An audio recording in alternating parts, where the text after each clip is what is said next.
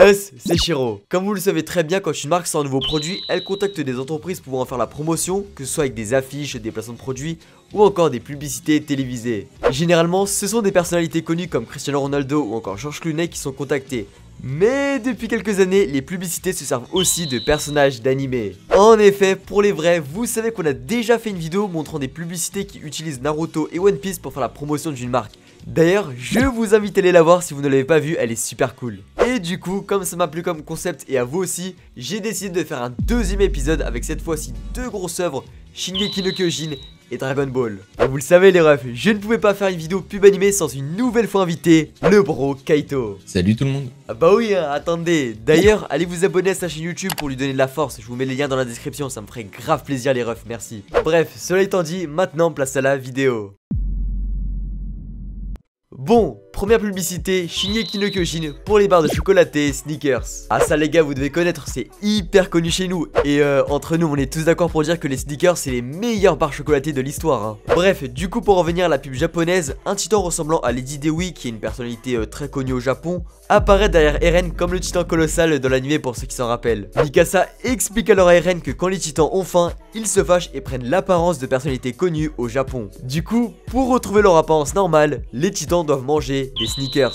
Ouais, j'avoue, c'est un peu spécial. Eren prend alors deux barres de sneakers à la place de ses lames de l'équipement tridimensionnel et les enfonce tous les deux dans la bouche du titan. Et bien sûr, après avoir mangé Gucci, le titan redevient le fameux titan colossal, incroyable. Mais ce n'est pas fini, il y a une autre pub de sneakers avec SNK où un titan furieux attaque Mikasa, Armin et le GOAT Levi. Et du coup, pour le calmer, Levi le boss fait exactement comme Eren et prend deux sneakers et les enfonce dans la bouche du titan. Voilà, c'est des pubs super stylées de la part de sneakers avec SNK je trouve et ça montre encore une fois leur suprématie dans le monde des barres chocolatées.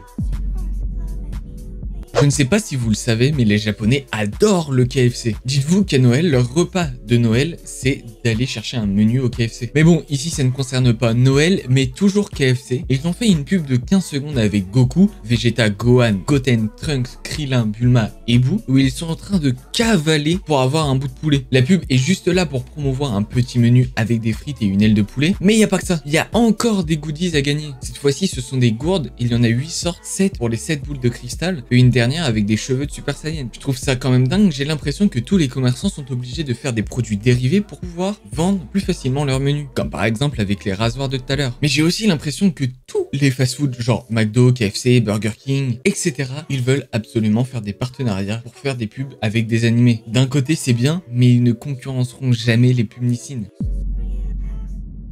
Et on enchaîne avec la troisième publicité, Shingeki no Kyojin, pour en fait trois marques différentes. Ah ouais, là je vous régale les gars. Hein. En gros, ce n'est pas des publicités euh, télévisées, mais des affiches que je trouve quand même grave cool et originales. La première, elle est incroyable, SNK pour Pizza Hut. En fait, comme vous pouvez le voir, le titan colossal tape sa meilleure part de pizza. Et ce qui est marrant, c'est que contrairement à l'animé où il faut tuer le titan, ici Eren, Mikasa et Armin attaquent le titan pour l'empêcher de manger la pizza. On peut le voir avec la tête d'Eren et en détresse, c'est incroyable.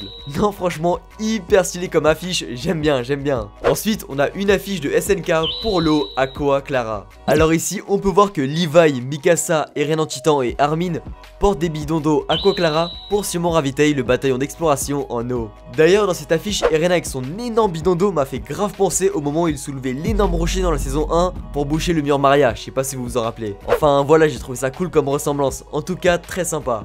Pour finir, dernière petite affiche publicitaire, SNK pour 7-Eleven. Alors pour celles et ceux qui ne connaissent pas, 7-Eleven c'est une franchise hyper connue de Combini au Japon et en Asie en général. Et du coup, on peut voir ici qu'ils ont fait une affiche mais tellement, tellement originale avec SNK en remplaçant le mur et les maisons par des rayons de bouffe trop stylés. Non mais en vrai, je suis limite en admiration devant cette affiche les gars, ils ont grave géré les boss quoi. Alors c'est certainement l'une des pubs les plus what the fuck. C'est une pub anglaise pour Ford, où Piccolo se trouve au palais divin pour entraîner Goten et Trunks à la fusion, pendant certainement l'un des meilleurs arcs de Dragon Ball, c'est bien sûr celui de Boo. Déjà ce qui est surprenant c'est qu'ils ne ratent pas leur fusion, mais vas-y, je vous laisse la surprise de leur fusion. It's unbelievable. Alors, surpris que deux humains, ça fasse une voiture. Par contre, je crois que c'est l'édition vraiment low budget. Je vais essayer de vous mettre des passages à gauche de votre écran où c'est l'animé et des passages à droite où c'est la pub pour vous montrer qu'ils ont juste pris encore des cuts de Dragon Ball. Ils ont juste changé en fait la fusion Goten Trunks et ils ont dessiné une voiture par-dessus. C'est la seule chose qu'ils ont faite. Ils ont mis une petite lueur autour et c'est tout. C'est quand même fort derrière. Pourquoi ils ont pas fait un truc de ouf? Limite, Akira Toriyama, il pourrait venir toquer à la porte de chez Ford et, et leur dire Hop hop hop, euh, droit d'auteur ici, hein Donnez-moi de l'argent un peu. En vrai, je sais pas vous, mais je trouve ça limite malsain de vouloir faire une pub avec un sponsor, que ce soit Dragon Ball, One Piece, Bleach, mais de rien faire de nouveau. Vous savez, juste de prendre, de recopier, etc. Je trouve ça tellement dommage. Surtout quand derrière, on sait qu'ils peuvent mettre le budget pour. Et on arrive à la cinquième publicité, Dragon Ball pour les nouilles instantanées, Cup Noodle. Et oui, comme la dernière vidéo où c'était One Piece qui avait fait la pub pour eux, cette fois-ci c'est Dragon Ball qui s'en occupe. La publicité commence avec une avalanche de légumes qui tombent du ciel, et c'est le prince des Saiyajin, Vegeta-sama qui va détruire tous les légumes en mille morceaux. Arrivent ensuite sa famille Trunks et Bulma qui en fait étaient ceux qui lâchaient les énormes légumes sur Vegeta. Ils se transforment alors en Super Saiyan pour lancer un Final Flash stratosphérique et accumuler tous les petits morceaux de légumes qu'il a détruits juste avant pour constituer son propre Cup Noodle incroyable. Ce qui veut dire qu'à chaque fois que tu mangeras ces nouilles instantanées, tu auras la même force que Vegeta. C'est bon, taisez-vous, prenez mon argent, j'achète. Non, franchement, entre nous, GG, c'est vrai que la pub n'est pas aussi bien travaillée que les pubs One Piece qu'on a vu, mais elle fait quand même largement le taf, c'est carré dans l'axe. Comme dans la précédente vidéo concernant les pubs, on va encore parler de rasoir, mais cette fois-ci avec Shingeki no Kyojin, ou plutôt changer pour la pub en Sokai no Kyojin, qui veut dire en français le titan rafraîchissant. Alors je vais essayer de vous traduire l'histoire de la pub. Alors en 2014, les habitants intramuros ont eu une prise de conscience. Ils ont découvert que les titans voulaient seulement être rasés. Et en guise de résolution, l'humanité a décidé de raser les titans et de les laisser partir au lieu de les tuer. Pour pouvoir accomplir cette mission, une brigade spéciale a été créée.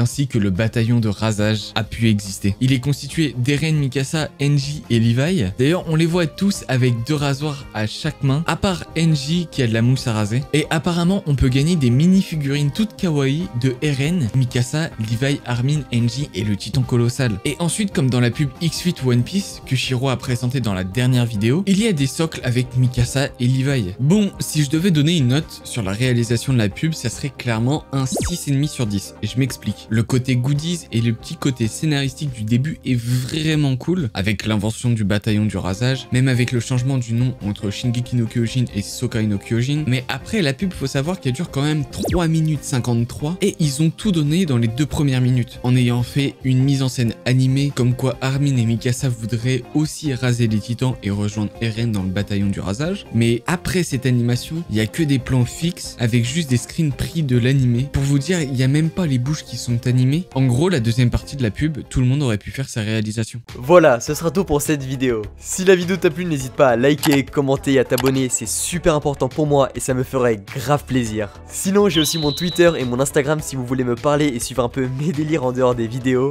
Et pour finir, vous pouvez commencer à suivre ma chaîne Twitch, je débuterai les streams dessus dans les mois à venir. Je vous mets tous les liens dans la description. Bref, quant à moi, je vous dis à la semaine prochaine, c'était Shiro, ciao